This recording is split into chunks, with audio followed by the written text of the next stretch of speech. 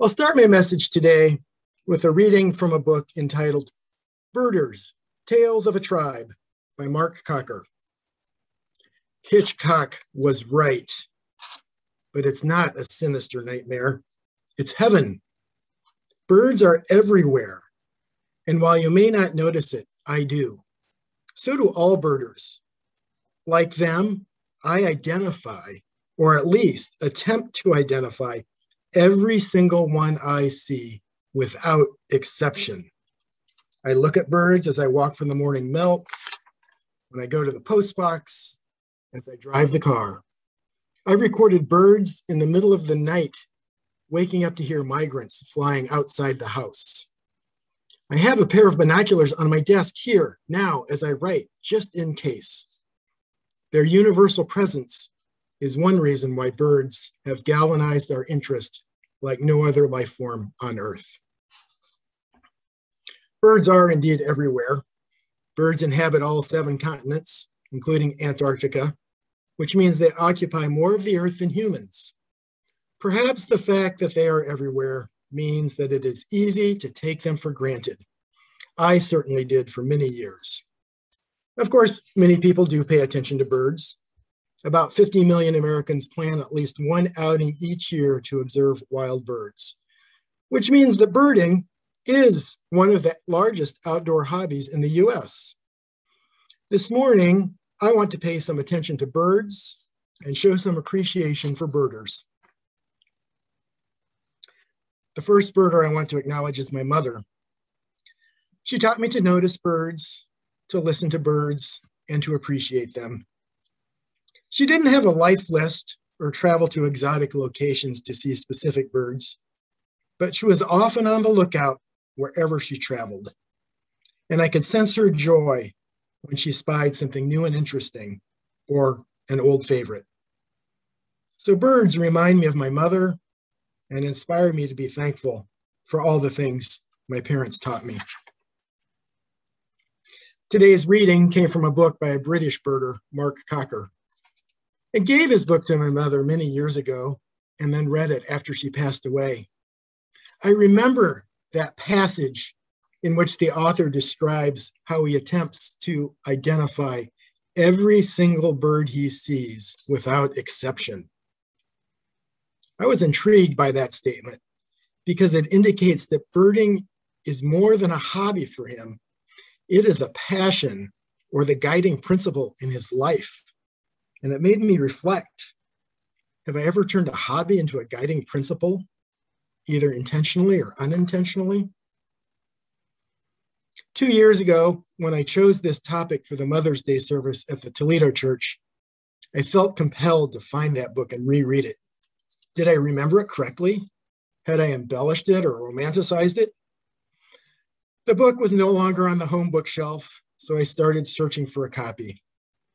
Mind you, I didn't remember the title of the book or even the author.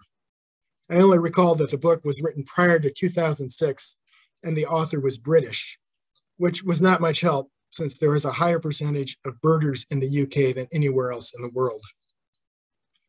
As I searched, I was dreading how to ask a librarian for help with such a limited information. I feared I would become a source of amusement throughout the staff-only rooms of the Toledo Public Library System. So I was amazed and immensely relieved when I found the title and the author and was able to procure a copy. When I reread that passage, I felt as if I'd made a second sighting of an indigo bunting. The passage lived up to my expectations. However, I noticed something else this time. The author was not just writing about his passion. Whether he knew it or not, he was describing our faith tradition, a different definition of universalism. Birds are everywhere on earth. This is heaven. Birds are accessible to everyone. Hence, heaven is accessible to everyone. Heaven is wherever you find birds here on earth. My most holy experiences, my most holy bird experiences, have been at Magee Marsh, about 30 miles east of Toledo. I'd heard about something called the warbler migration, which happens every May, but I hadn't summoned the initiative to make a visit. So at the church auction a number of years ago, I bought a spot on a tour of the marsh led by the Olsons. They were not longtime members of our church, as they had lived and worked in central Illinois, Illinois for many years, and then chose to move to Toledo for retirement. Not a popular retirement location, unless you are avid birders. My first trip to Magee Marsh with them was outstanding. I saw at least two different, two dozen species of colorful small songbirds.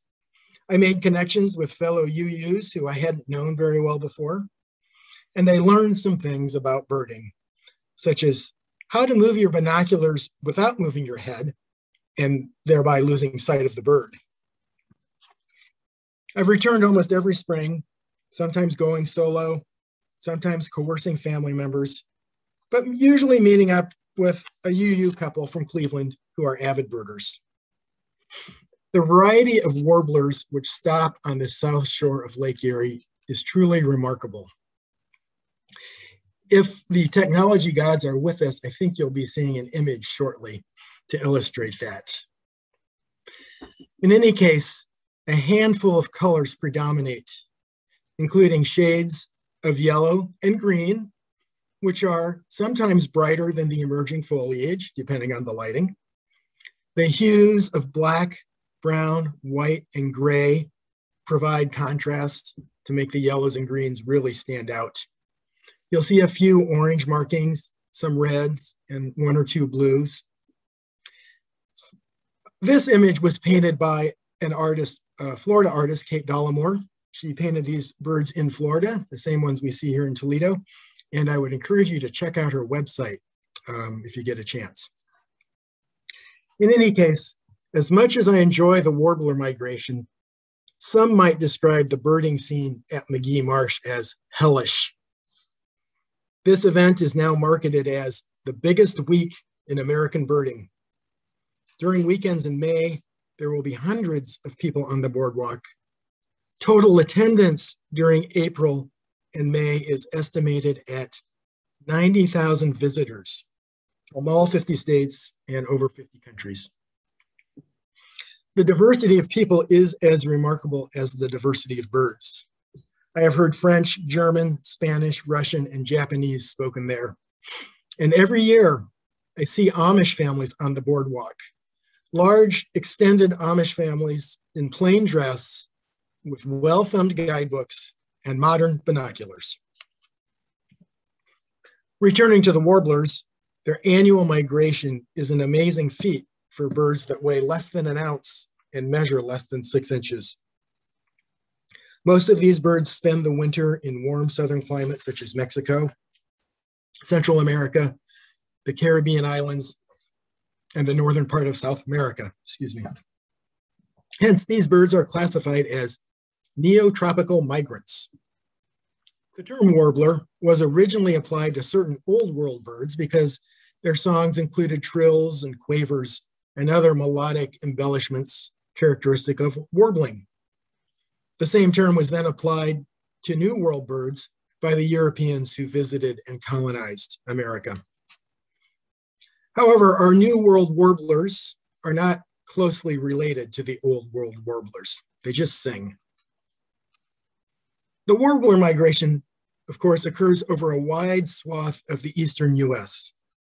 Northwest Ohio provides unmatched viewing opportunities because of Lake Erie.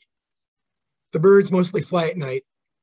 So if they arrive at Lake Erie in the latter part of the night, somehow they decide to stop and feed and rest for the day before attempting to cross that vast expanse of water. In the fall migration, they stop on the northern shore and they're not as colorful. So the spring migration gets all the attention. According to Birdwatchers Digest, 36 species of warblers migrate through Iowa in the spring. However, they can stop whenever and wherever they want in that great state. Since there are no natural barriers which force them to concentrate, the density of songbirds is much lower. Moreover, they are small and sometimes prefer the treetops, so they can be difficult to see.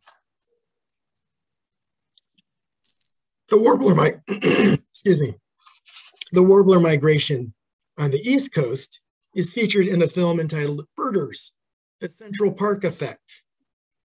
The filmmaker, Jeffrey Kimball, interviewed half a dozen regular birders in New York City's Central Park. You might think that an urban area as massive as New York City would have limited birds. In fact, the birds migrating up the, migrating up the East Coast need to stop and rest somewhere. So some of them funnel into the limited habitat in the heart of New York City. One of the interviewees in this film, Chris Cooper, humorously comments that his friends just can't understand why he is completely unavailable for social engagements from mid-April to the end of May. You might recognize Chris Cooper from that disturbing incident in Central Park last May, as he was the African-American man who was birding and asked a white woman to comply with the park regulations and leash her dog. She called 911 and falsely claimed that he was threatening her and her dog. In any case, Chris compiled the list of the seven pleasures of birding. Number one, the beauty of the birds. No explanation required. Even relatively common backyard birds such as cardinals, blue jays, goldfinches, robins, and red-bellied woodpeckers display remarkable colors. Number two, the joy of being in a natural setting. Trees, fresh air, wildlife, and maybe even sunshine. If you don't see a bird, it is still time well spent. Number three, the joy of scientific discovery. Although it is unlikely that you or I will discover something new to the world of science, we may discover or learn something new to us. Many of these birds need to be seen more than once to observe their detailed markings. Number four, the joys of hunting without the bloodshed. The first birders were hunters who thought the only way to identify what a bird was in the hand, which is understandable prior to the era of cameras and binoculars. Indeed, Audubon's favorite famous book, Birds of America, was painted from stuffed dead specimens. The famous naturalist of the 19th century, whom I admire, collected oh, carcasses. Charles Darwin collected thousands of birds during the five-year voyage on the Beagle, and he was reputed to be an excellent marksman for his ability to bring down these small creatures. Alfred Russel Wallace, co-discoverer of natural selection, earned his living and financed his field trips to South America and Southeast Asia by collecting bird carcasses and sending them back to collectors. So for modern birders, pleasure number four is probably better described as the joy of stalking rather than the joy of hunting. Number five, the joy of puzzle solving. These birds don't usually pose in the open for your viewing pleasure. You often get only a glimpse of one side and then they flit off to a different branch where you get a different perspective. So you have to fit the observations together. Number six, the joy of collecting or keeping a list. I was skeptical of this item because it seemed competitive to me, but I have found it a useful memory aid. And finally, number seven, my favorite, the unicorn effect. You might become familiar with a species by studying the field guide, but haven't had the opportunity to see the, one of those birds in real life. So those birds take on mythological status, like a unicorn. When you do finally spot that elusive bird, it feels magical. I am waiting to see the painted bunting. So these are the seven pleasures of birding experienced by humans. But what about the warblers? I doubt they get any pleasure from us from us stalkers or puzzlers or collectors? Do they get any pleasure from singing? Do they get any pleasure from listening to each other? Based on my limited knowledge of animal behavior, I assume that bird singing is simply instinctual. Charles Hartshorne had a different view. Hartshorne was an American philosopher who specialized in the philosophy of religion and metaphysics.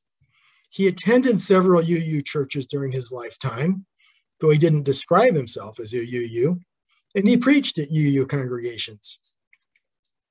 Hartshorne has been described as the first philosopher since Aristotle to be an expert in both metaphysics and ornithology.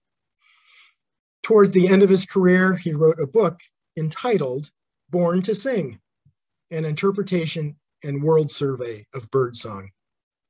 He described how birds sing outside of the mating season and that some birds sing even when their territory does not seem to be threatened. Based on these observations, he concluded that birds just like to sing and suggested that they sing to communicate emotions such as joy. The title of this message, of course, comes from the Emily, Dickinson poem, which I used for the meditation reading. In that poem, she compares the concept of hope to a feathered bird that is permanently perched in the soul of every human. There it sings, never stopping in its quest to inspire. It say, sings, especially when times get tough. But the song has no words, no diction for anyone to understand. The speaker in the poem has heard the bird during the hardest, coldest times when emotions are churning. Even when things are extreme, hope is still there and never asks for anything. I want to turn Dickinson's metaphor around a little bit. At times, we can despair that nature is falling apart. And then unexpectedly, a goldfinch or a tufted titmouse or a Baltimore oriole appears, and everything feels a little better. In those moments, these feathered creatures bring hope and spiritual renewal. I fear that we are at risk of losing nature because we are losing our connections to nature. So I urge you to stay connected to the natural world and to keep hope alive. Stay connected by listening for birds. Stay connected by observing birds. If you haven't seen the wonders of the spring warbler migration, take a trip east in May. Visit First Unitarian of Toledo, and then make a pilgrimage to Magee Marsh. Stay connected by visiting a city park or a nearby state park. You might not see many warblers, but Iowa hosts many other avian immigrants. The waterways, lakes, and res reservoirs are good places to spot migrating shorebirds and waterfowl. Finally, stay connected by paying attention to every bird every day as they bring us hope. Blessed be and amen.